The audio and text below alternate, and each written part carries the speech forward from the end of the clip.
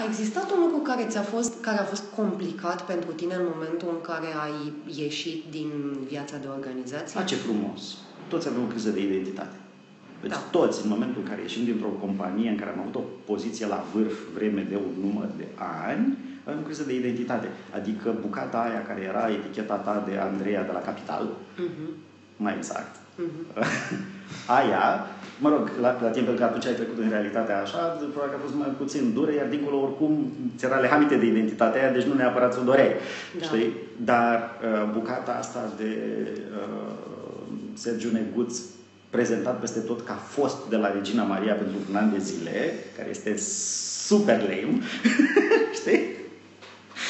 Deci, Da, inclusiv. cred că, da, cred mai mult de un an de zile, eu eram prezentat peste tot ca fostul director de la Regina Maria.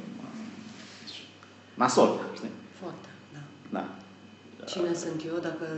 Ok, fostul, dar acum cine sunt eu? Exact. Regina știi? Maria, fără și capital. e, e o criză de identitate și poți numai să o tratezi cu umor. Adică mai mult de atâta nu poți să faci, știi? Că- Că se... Da. Adică ai fost conștient de ea în momentul în care a apărut și ai zis, ok, asta e, e o etapă, am să trec peste ea, eu sunt mai mult decât uh, eticheta de pe cartea de vizită pe care scria director Regina Maria. Uh, Adică ai fost conștient la că acum e ușor să ne uităm în spate, să zicem, da, bă, am trecut într-o criză de identitate, dar când ai trecut prin ea, A fost foarte dureros. A fost foarte dureros. Adică eu eram în Regina Maria și în Centrul Medical Unirea pentru că credeam în serviciu cu suflet. mm, Deci, știi, deci, eram ca identitate acolo, știi, și să-mi construiesc o identitate a mea mhm, profesională nouă din toată treaba asta, venea la pachet cu niște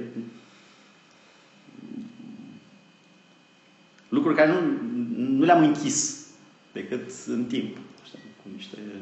mhm. Uh, deci, da, privind retrospectiv, m-am chinuit ca bou, că nu era nevoie, știi? Și că, într-un final, mi-a fost mult mai bine. Dar nu, nu e ușor. un lucru care te-a ajutat să, să-ți păstrezi umorul, să treci mai ușor peste povestea asta? Dacă te întoarci acum și te uita la, la, la Sergiu în 2011, ce îi spune? Relax, man. Da. Și get a coach. Aha. Că nu mi-am dat la momentul respectiv. Bună, bun sfat. Da, și get a coach. Mhm. Adică am dat la capete în zid și niște praguri și nu știu ce. Mhm. da.